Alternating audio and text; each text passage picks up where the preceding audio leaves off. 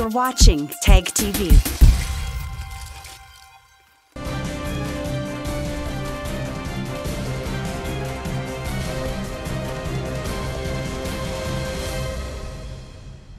Hello and welcome to Newsweek South Asia, a program that talks about breeding of terrorism and its impact on South Asian nations.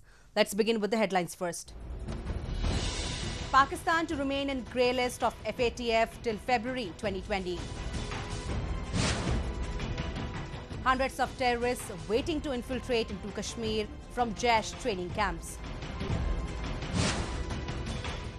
Pakistani terrorists target police vehicle in Quetta city of Balochistan. And Taliban turns violent on security in Afghanistan after peace deal breakup. In a major development, the Financial Action Task Force in its plenary meeting this week decided in principle that Pakistan will remain on its grey list till February 2020 and directed the country to take extra measures for the complete elimination of terror financing and money laundering, a report.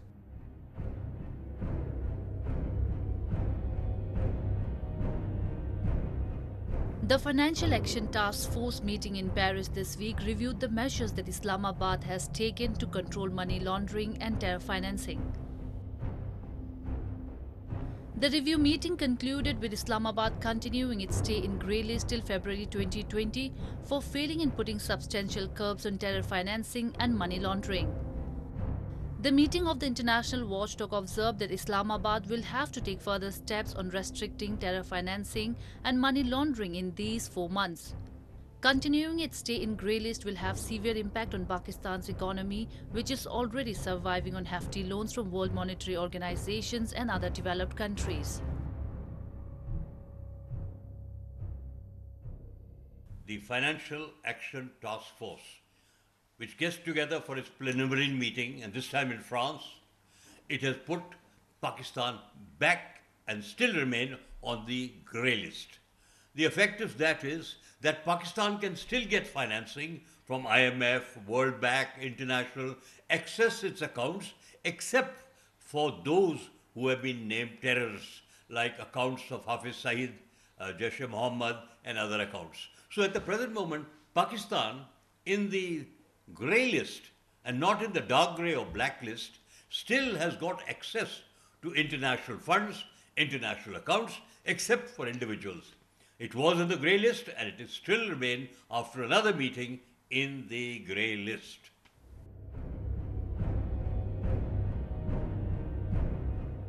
In the plenary session of FATF, Pakistan was able to address only 5 out of 27 targets.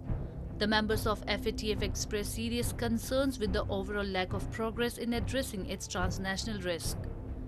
The FATF decided by consensus that Pakistan would be retained on grey list and was given a stern warning which read, strongly urge Pakistan to swiftly complete its full action plan by February 2020, otherwise should significant and sustainable progress not be made across the full range of its action plan by next plenary, the FATF will take action, including urging members to advise their financial institutions to give special attention to business relations or transactions with Pakistan.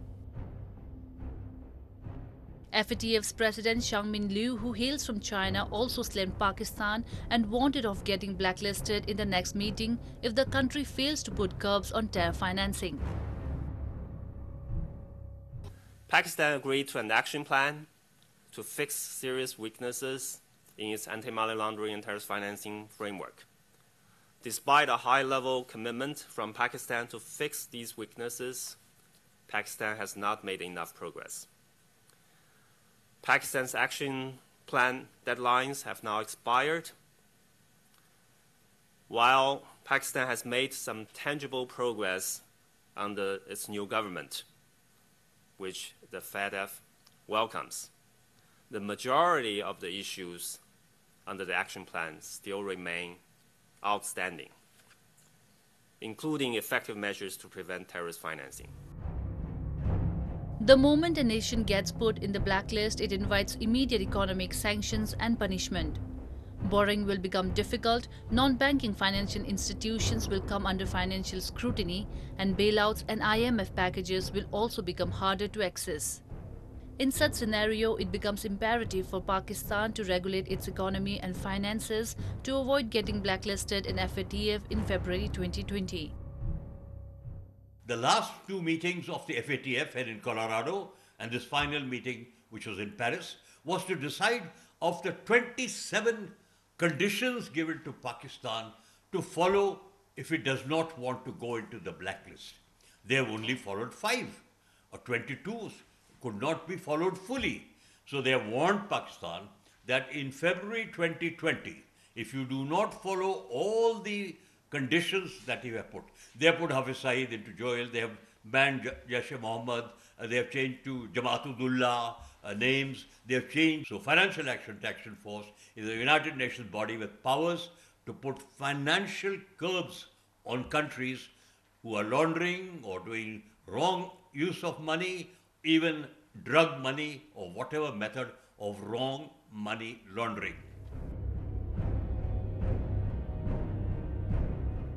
Experts suggest that FATF in effect has given notice to global financial institutions that they need to prepare for the imminent red flagging of the jurisdiction and ready their system for eventuality of Pakistan entering the FATF blacklist in February 2020.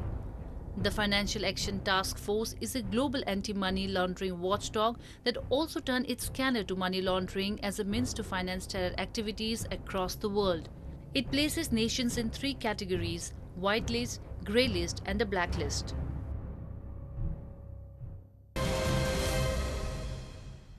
Eight months after Indian Air Force bombed the Jaish-e-Mohammed terrorist camp in Pakistan's Balakot, Indian intelligence agencies have received inputs that 45 to 50 hardcore terrorists, including suicide bombers, are being trained there. The development has come days after Indian Northern Command Chief Lieutenant General Ranbir Singh claimed that nearly 500 terrorists were waiting to cross over the LOC. He also said 200 to 300 terrorists are operating in hinterland of Jammu and Kashmir to keep the region in turmoil with Pakistan's support. A report. Pakistan-sponsored terrorists are receiving all kinds of aids from Islamabad to facilitate their mission of bleeding India with thousand cuts. Intelligence reports suggest 45 to 50 terrorists, including suicide bombers, are undergoing regressive training at Jaish-e-Mohammed camp in Balakot. Also, some 500 terrorists are waiting at training camps along the line of control in Pakistan-occupied Kashmir, ready to sneak into Jammu and Kashmir, a top Indian Army officer said this week. तकरीबन 200 से 300 terrorist हमारे इलाके के अंदर जो आए हुए हैं और जो आतंक के साथ मिले हुए हैं। और इसी प्रकार पाकिस्तान ऑक्यूपाइड कश्मीर के अंदर जो टेररिस्ट कैंप और लॉन्च पैड्स हैं, उसके अंदर भी तकरीबन 500 के आसपास लोग हर समय ट्रेनिंग के अंदर बने रहते हैं और घुसपैठ के लिए तैयार रहते हैं। लेकिन ये जो फिगर्स हैं, ये एक अप्रॉक्सीमेट फिगर्स हैं। इसके अंदर बदलाव आता रहता है, जिस प्रकार से लोगों की और ट्रेनिंग होती रहती है। Indian Air Force's Mirage 2000 fighter jets had decimated a Jaish-e-Mohammed terror camp in Balakot on February 26 this year. The Jaish-e-Mohammed's terror camp destroyed in the airstrikes carried out by Indian Air Force is located in Khyber Pakhtunkhwa of Pakistan. The terror camp located on a hilltop amidst thick forest was an advanced training center where suicide bombers were trained. Sources have revealed that the terror camps have been reactivated in Balakot and terrorists are undergoing extensive training to carry out attacks in India. I am in total agreement with the statement made by the Army Commander Army. It's a fact that there are about 200 to 300 terrorists which are operating in the valley at this point of time. This notwithstanding, the security forces have been very successful in ensuring that no incident whatsoever has taken place in Kashmir on the last 70 odd days, which is a huge success story for us. As far as across the border is concerned, the anti-terrorism grid has been secured in a very significant manner despite mega attempts by China to, by Pakistan to push in terrorists. They failed to do so and every time they've been able to push in terrorists, we managed to eliminate them at the border itself. So he's assured the nation that notwithstanding huge efforts by Pakistan, India is in very safe hands. The terrorists operating along the LOC under the shelter of Pakistan Army remain on a consistent lookout for chances of cross-border infiltration that is facilitated by ceasefire violations by Pakistani troops. Recently, infiltrated terrorists launched a grenade attack in Kashmir's main city of Srinagar. This is the second such attack within a span of a week and the third incident of its kind in Kashmir Valley since the state's temporary special status was revoked by Indian Union government. It's, it seems there is it's a grenade throwing inc incident. Now we are investigating, and uh, nobody is uh, seriously injured. Yeah. How many? What's the number that have been got injured in this attack? Six to seven. Uh, yeah. We, any co any cop injury or something? Or no, nothing, nothing, nothing. Only civilian. Launching immediate counter-terrorism action following the incidents of grenade attacks and killing of civilians in Kashmir, the Indian Army neutralized three terrorists in Anantnag this week. Terror activities from Pakistan are on a surge since August 5th.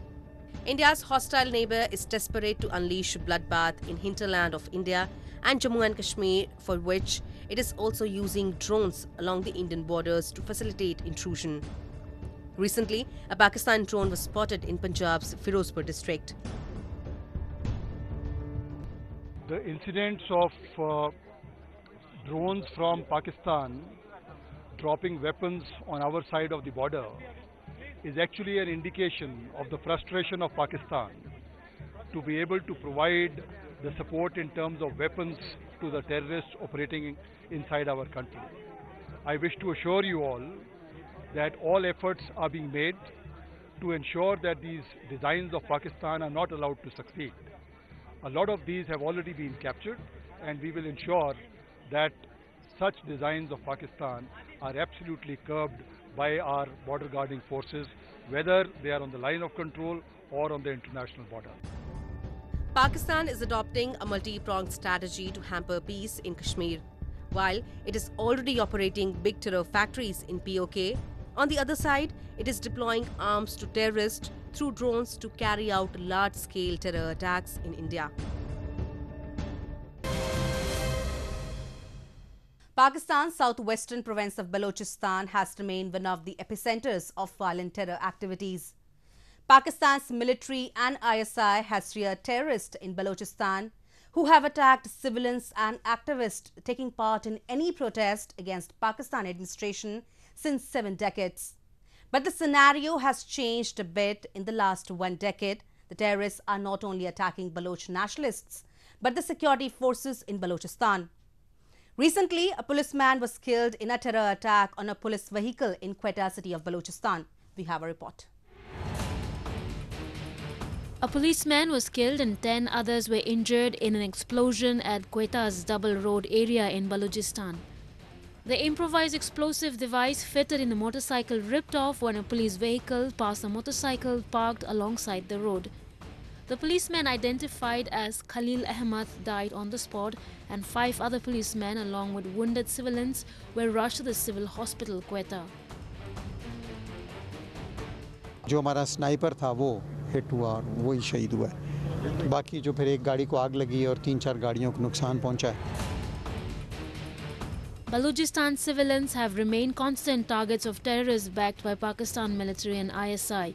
The frustrated Baloch separatists who have been struggling for an independent state since 1948 are often muzzled or shot down at the slightest protest against the administration. Baloch are struggling from the beginning. This situation, for now, it is really uh, intensifying because of this. And some people, they have, of course, this insurgency started. And now this is like uh, one decade, people are being killed and kidnapped and dumped and uh, various ways intimidated and that's the reason the situation because of this uh, the people are you know uh, Pakistani army is using it is proxy religious uh, um, you know fundamentalist against the uh, Baloch intellectual Baloch uh, students Baloch people because they want to put this across this message across Baloch people that you are against the, the Muslim nation, country, which is uh, created on the name of the, in the name of Islam. So uh, the picture is that if you speak anything about Pakistan, it means you are against Islam or you are some kind of uh, uh, against the you know other people, Muslim people or something like that. So the situation is very bad, and they are kidnapping people and they're killing and dumping every day. The chaos and misery in the region has escalated further ever since the terrorists started attacking civilians and the security personnel both. It is a dire situation in Balochistan where civilians and now the security forces have become the targets of terrorists who were earlier raised and sponsored by the Pakistan administration and the ISI.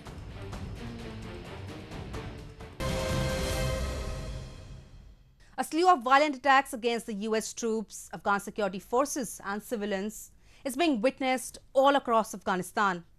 The terror outfit of Taliban has been targeting security forces ever since US took a U-turn on peace deal with Taliban.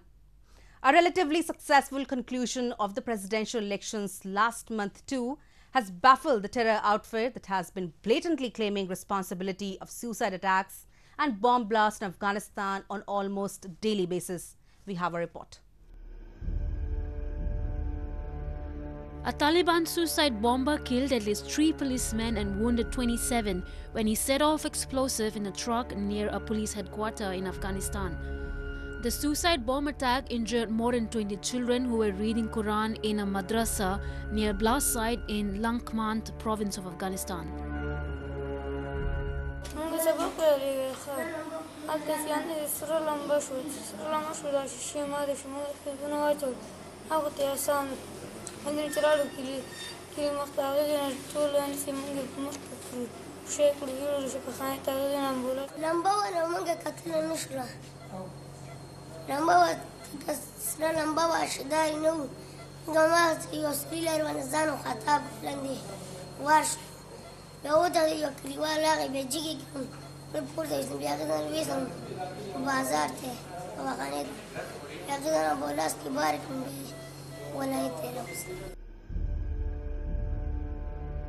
Taliban spokesperson Zabihullah Mujahid confirmed in a statement that the militants had used a large truck packed with explosive in the attack in the eastern province of Laghman in Afghanistan. In another bomb blast in Shahwali, Wali district in Kandahar province, two civilians lost lives and several others were injured. Afghanistan has witnessed a surge in attacks by the Taliban, who denounced the vote as a sham during presidential elections last month. United Nations has claimed that more than 85 civilians have been killed in election-related Taliban violence alone. Taliban terror group has been on an attacking spree against US troops and Afghan forces after US President Donald Trump called off the peace talks with the Taliban a few weeks before Afghans went for presidential polls. Jittered after US broke peace agreement, Taliban approached Pakistan for peddling peace talks further. But the peace deal with the US seems improbable as Taliban terrorists have resorted to unpaid attacks on US troops, which was the key reason behind US taking a U-turn on any peace agreement with Taliban. On the other hand, Pakistan has already been circled by the US and international community as a global terror sponsoring nation. In the current scenario, Taliban could least expect Pakistan to be their envoy for peace deal.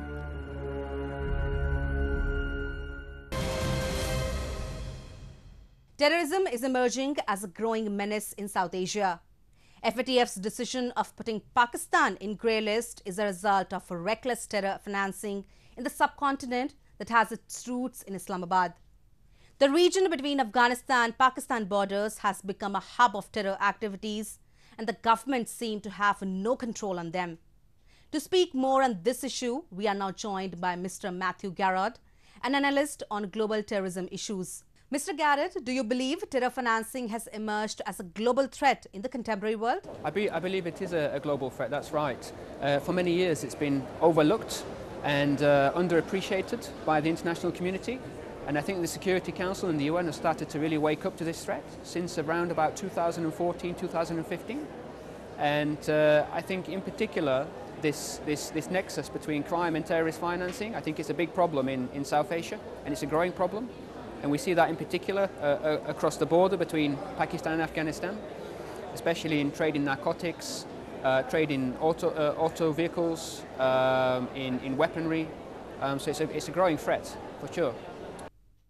According to you, what necessary steps should be taken to deal with the various terrorist outfits which are based in Pakistan and in parts of Afghanistan? In particular, from, from my experience, there's a, a, lot of issues here around the, the, tribal areas, the tribal regions on the Afghan-Pakistan border. And uh, th there's really a lack of governance. We're seeing elements of corruption as well, so public officials overlooking certain groups who are, who are just residing in those territories. And a really lack of law enforcement uh, and cooperation with other states who are affected by this. Many Western countries have asked Pakistan to act against UN designated terrorists. Even FATF has once again put the country into the grey list. How do you think Pakistan will react in such kind of situation? I can't see any solution to this uh, short term. This is going to have to be a long term solution. Even with the FAT, FATF's uh, recommendations and listings, I can't see the Pakistan government moving much on this because it just doesn't have the capacity to control the territories where a lot of these groups are, are residing and operating from. It doesn't have the ability to do it. And the border with Afghanistan just makes it almost impossible because people traverse the border and Afghanistan doesn't have the capacity either to deal with this. So I can't see any solution. Do you see a possible nexus between the state, the Pakistan army and the jihadist outfit that is preventing the state from taking relevant actions against terror group?